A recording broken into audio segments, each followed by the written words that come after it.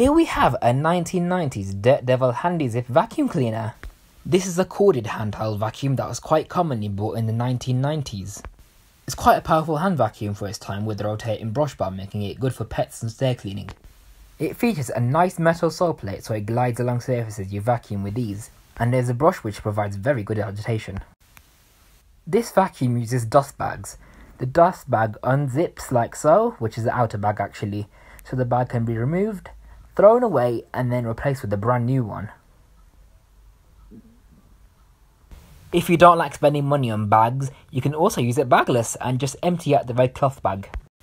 The bag just pulls off like this and then you can tip out all the contents away into the bin. This can be a bit messy so you gotta be careful not to inhale the dust. The brush bar is powered by a rubber belt connected to the motor.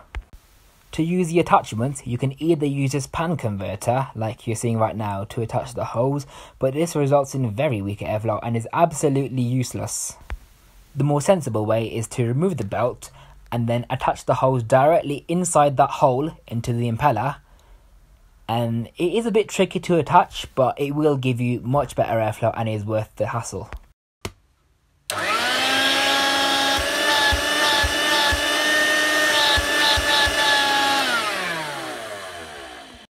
The Dirt Devil Handy Zip comes with the crevice tool which is great for cleaning corners, awkward places and edges as you can see. And you can also use this dusting brush for doing the dusting like so, which is another attachment that this vacuum includes.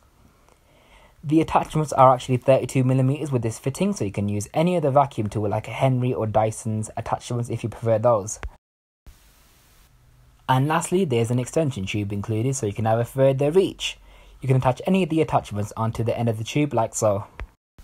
The hose cuff has a swivel point to give you better flexibility too. This features a massive 25 foot cable, so it's very long for the size of the vacuum, and the way you store the cable is by wrapping it up around the vacuum, like so.